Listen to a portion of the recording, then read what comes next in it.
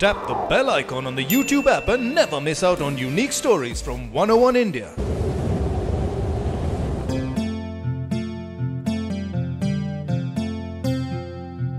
A few weeks ago, I took up a challenge.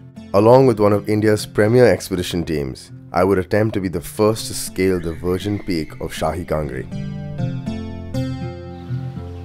My producer Yash and I didn't get the required permissions to go through with the climb. After grueling training with the team, we were asked to stay behind, while the expedition crew set out to make the first ascent.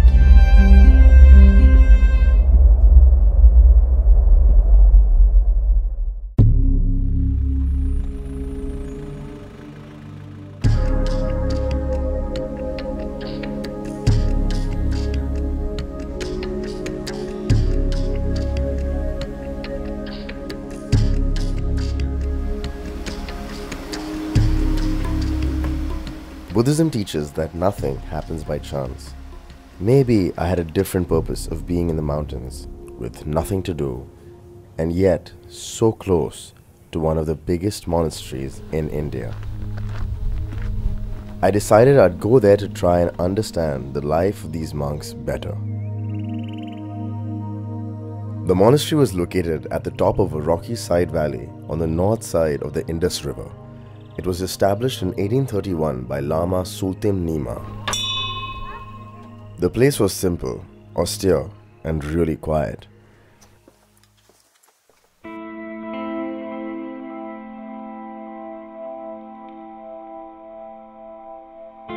I decided I'd talk to some of the monks, the lamas here, see what a life of meditation and prayer was all about.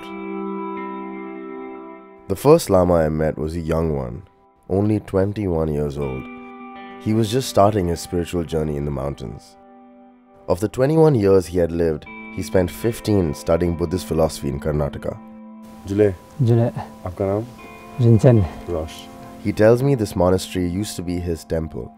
It has been a place of worship for him since he was a child. Was being a monk something he wanted as a child as well?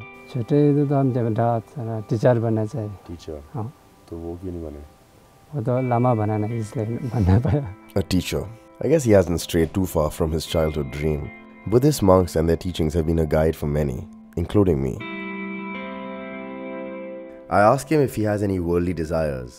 मौका मिलेगा तो हम England जाए वही सोचते हैं England उतर घूमने के When I ask him about the problems of youth, of addiction, violence, he tells me the only solution is to clear your heart. कायन करने चाहिए इस वो होता तो सब ठीक हो जाएगा नहीं तो शराब पे दारू पे वो तो करेगा तो तो अपना मन भी खराब होता है लाइफ भी खराब होता है ना वही Be kind to people, he tells me, and karma will smile back at you.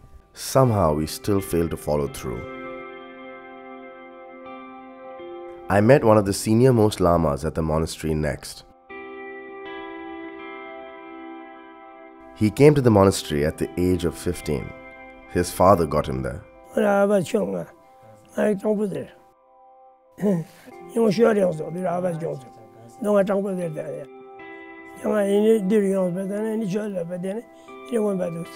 I ask him if he's ever bored living his life away from it all, the world itself. He tells me he likes it this way. It's a luxury to have a place where one can concentrate, meditate, and pray.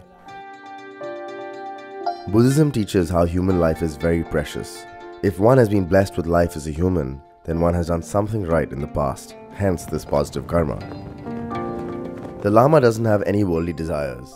He reminds me how Buddha himself attained nirvana without a wife or a family. A lot of children who come to study here come from poverty. The monastery has free schooling for everyone till the fifth standard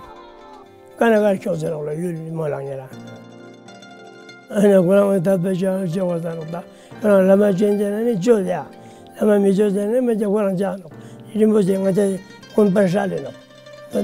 di But children are children. I don't think they spend much time thinking about these things. This bedroom? This bedroom? Not when there are simpler things to be thankful for, like a game of cricket or football. Buddhism teaches to be truly happy is to be happy like a child. Because unlike adults, children don't really need a reason to be happy. He left me with some advice. Again, something simple that usually goes ignored by us.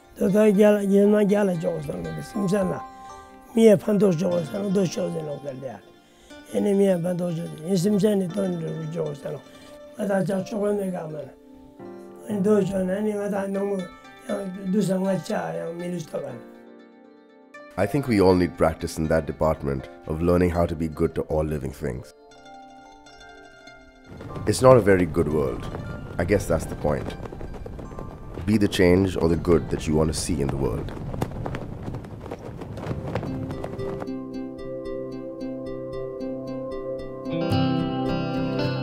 So, could I ever be happy like a child? For no reason whatsoever? I'm not sure. But this visit to the monastery did help me get over my initial mountain climbing disappointment. And that works for me just fine.